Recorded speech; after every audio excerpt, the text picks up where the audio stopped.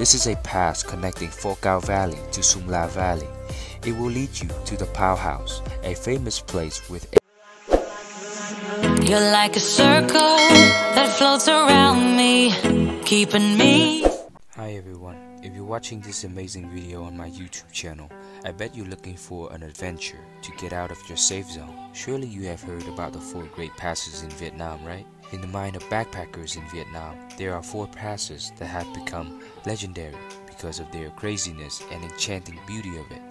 They call the four great peaks because these four particular passes are very challenging for tourists when coming here but also a place with beautiful landscape and all of them are located in the mountainous province of the North Vietnam.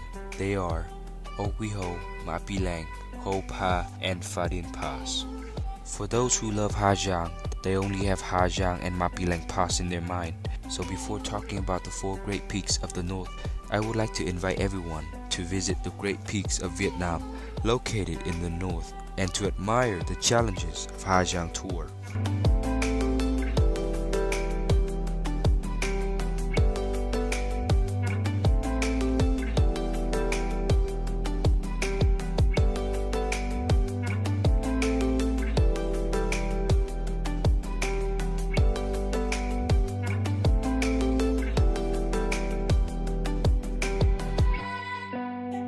First, on the way to explore the highlands, you will go through Bac Sum Pass.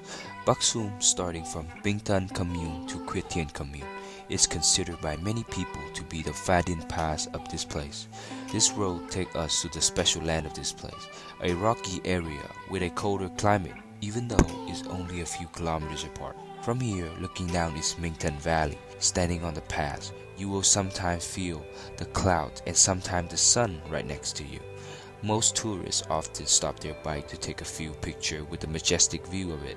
The higher you go up Bac Sum, you will come to a resting place and be overwhelmed by the beauty of it. Because the slope is so steep, it will be difficult for those of you who goes two people on one bike because it will weaken the bike and you will experience the feelings of crawling on the pass. Just like that, you have passed the most basic level of Dong Van Rocky Plateau and prepare yourself for the next destination.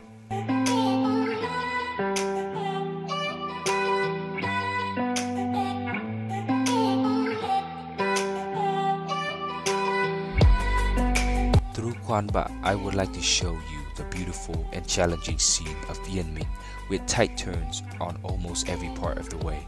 Next is Tham Ma Pass, located on Highway 4C, also known as the Happiness Road. Leading from Yen Minh Town to Tham Ma Pass is considered one of the highest slopes in the entire trip.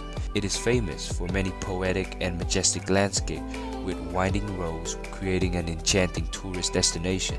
The slope is considered as a test for horses to see the strength. Which one can pass is the strongest one and will be sold in the market at a very high price.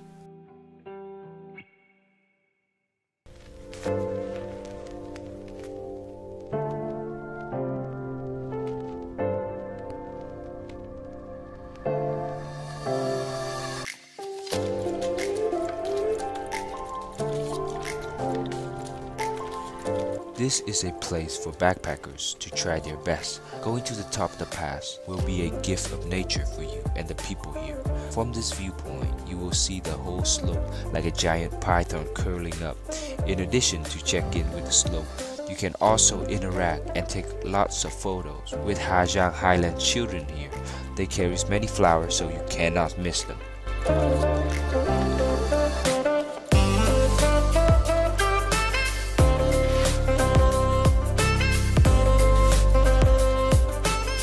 After Tham Ma Pass, this is the 9 round slope. This is a pass connecting Cao Valley to Sum La Valley. It will lead you to the Pao House, a famous place with ancient architecture of Hmong people, and is a film location of Pao feature film reviewed in 2006. This was also formerly a largest opium field in the Rocky Plateau, a gold mine of the king of Hmong people at that time. The 5 kilometers long pass had more than 20 sharp turns, although the road has been improved a lot compared to before. The continuous left and right turns will make a lot of tourists feel excited, especially at the top of the pass. When looking down, you will see the winding road below.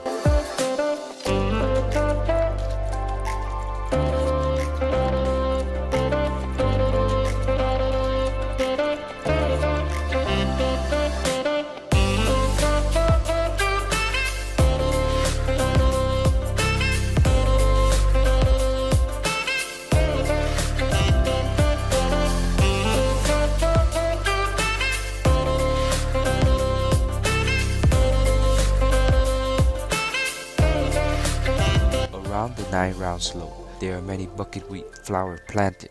When you reach to the top, remember to stop, take some rest, take advantage of the wonderful flower field, along with the majestic view of the mountains here. And it will surely give you a lot of beautiful photos. And make sure you will have a lot of emotion when visiting Ha Giang.